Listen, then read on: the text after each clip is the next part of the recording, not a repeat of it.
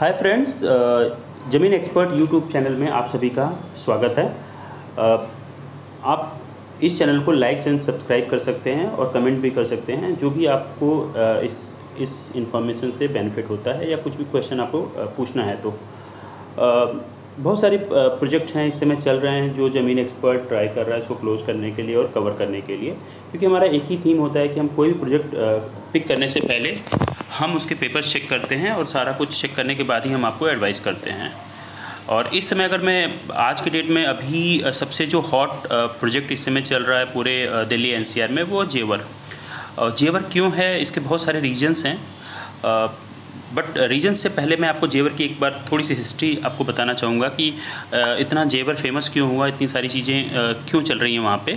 तो जेवर एक्चुअल में फ़र्स्ट नेम जब इंट्रोड्यूस हुआ था 2001 में उस समय जो सीएम थे यूपी के राजनाथ सिंह थे। और उन्होंने ये प्रपोज किया यहाँ पे एयरपोर्ट बनाने का। बट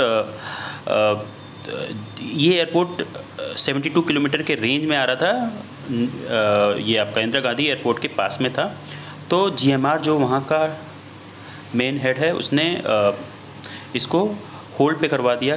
और जो करंट गवर्नमेंट थी यूपीए गवर्नमेंट इसने इसको होल्ड पे डाल दिया कि इसको हम आगे लेके नहीं जा सकते। क्यों? क्योंकि ये वन फिफ्टी किलोमीटर के रेंज में आता है। क्योंकि जब जीएमआर को ये पूरा एयरपोर्ट का देख दिया गया था कंस्ट्रक्शन के लिए तो ये उसके अंदर एक कंडीशन थी कि कोई भी एयरपोर्ट इंटरनेशनल एयरपोर्ट 150 किलोमीटर के रेंज में नहीं बन सकता। तो ये होल्ड पे चला गया। उसके बाद अखिलेश गवर्नमेंट आई 2012 पे। और अखिलेश गवर्नमेंट ने ये पूरा का पूरा प्रोजेक्ट को ले जा, लेके चले गए लोग आगरा। कि आगरा में हम इसको बिल्ड करेंगे। बट अगेन सेम बहुत सारे इश्यूज़ हुए और वहाँ से बहुत सारा बेनिफिट नहीं मिल सकता था स्पेशली यूपी को। तो उस पर बहुत ज़्यादा वर्क नहीं हो पाया। तो अल्टीमेटली ये अगेन प्रोजेक्ट होल्ड पे चला गया। और 2014 में जब वापस बीजेपी की गवर्नमेंट आती है, योगी जी सीएम बनते हैं यूपी के तो ये जेवर प्रोजेक्ट को वापस लेके आते हैं आगरा से। और उसके बाद जितने भी क्लियरेंस चाहिए, वो सारे क्लियरेंस भी लेके आते हैं। जैसे clearance means MoCA M O C A ministry of the civil aviation M O D union minister of union ministry defence 2006 ये लेके आए। और इन्होंने ईडा फॉर्म किया सो दैट कि सारे के यमुना एक्सप्रेस वे अथॉरिटी जिस हिसाब से नोएडा का इंफ्रास्ट्रक्चर है, उस हिसाब से यहाँ का डेवलपमेंट बहुत अच्छा होना चाहिए था बट दो सबसे नेगेटिव पॉइंट रहे हैं नोएडा के। एक तो यहाँ पे एयरपोर्ट नहीं है पास में, और दूसरा कोई भी रेलवे स्टेशन नहीं है तो मतलब जो मेन रेलवे स्टेशन है वो दिल्ली में है, और एयरपोर्ट है वो भी दिल्ली में है, वो भी गुड़गांव के पास में। तो इसलिए यहाँ का जो विकास होना चाहिए था उस हिसाब से नहीं हुआ।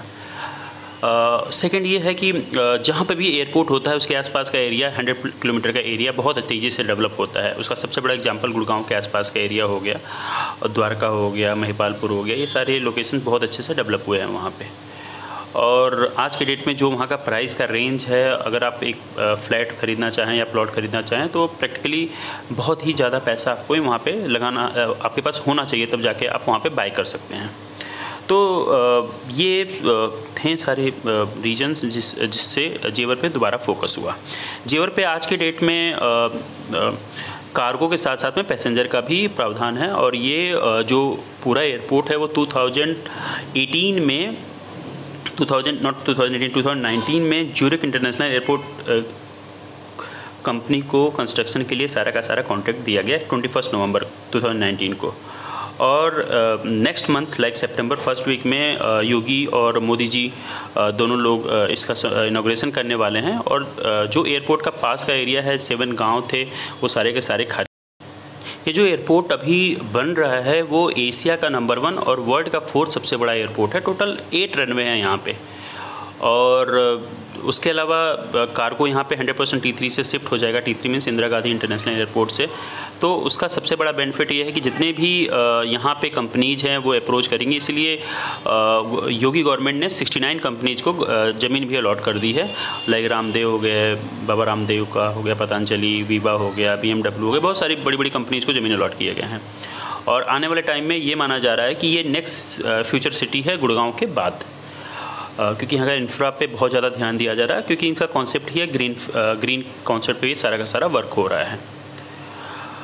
उसके अलावा अगर हम बात करें कि यहाँ पे हमें इन्वेस्टमेंट करना चाहिए या नहीं करना चाहिए। बिल्कुल मेरी एडवाइस है सभी से कि इन्वेस्टमेंट करना चाहिए। अगेन मैंने वही द्वारका की एग्जांपल लिया गुड़गांव का कि आज की डेट में गुड़गांव और द्वारका में ज़मीन खरीदना सबसे डिफ़िकल्ट काम है क्योंकि वहाँ के लिए आपको बहुत अच्छा बहुत मोटा पैसा चाहिए।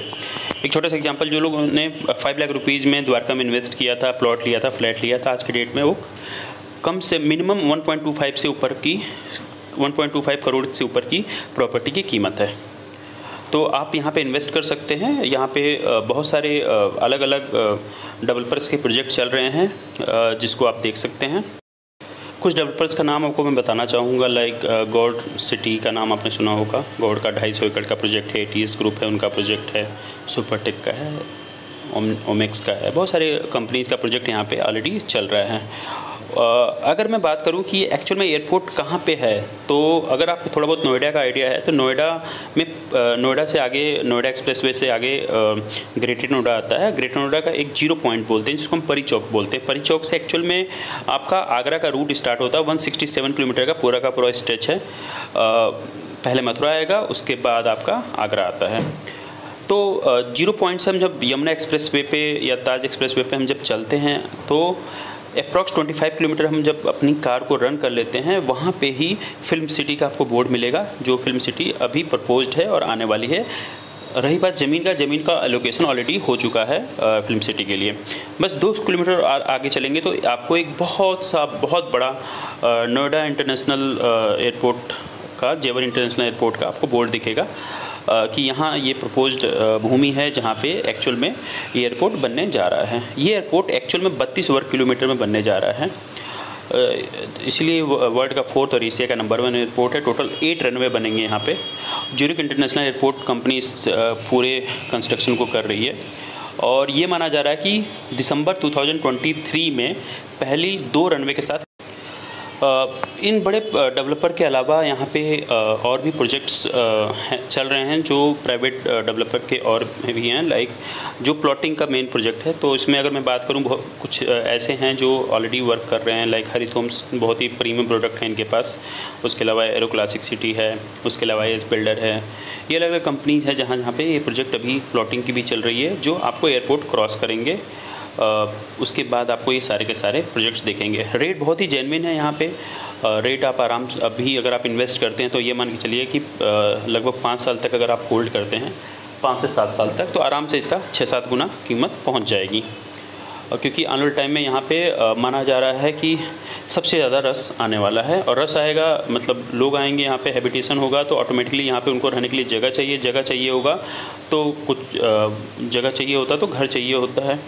और घर चाहिए होगा तो ये प्लॉट्स में जो भी घर वगैरह बनाएगा और कल को रेंट आउट करेगा तो उसको ऑटोमेटिकली प्रॉफिट होगा ही होगा। तो ये सारे बहुत सारे रीजंस हैं यहाँ पे इन्वेस्ट करने के लिए और एयरपोर्ट की डिटेल्स है। रेगुलर बेसिस पे हम आपको अपडेट्स लेके आते रहेंगे। ये भी बेसिक डिटेल्स हम जो का लेके आए हैं, कुछ स्पेसिफिक प्रोडक्ट भी लेके आएँगे स्पेसिफिक प्रोजेक्ट लेके आएँगे जहाँ पे आप इन्वेस्ट कर सकते हैं। तो आप कनेक्ट में रहिए लाइक और सब्सक्राइब कीजिए। और प्लीज़ इससे बताइए कि ये वीडियो आपको कैसा लगा। Thank you very much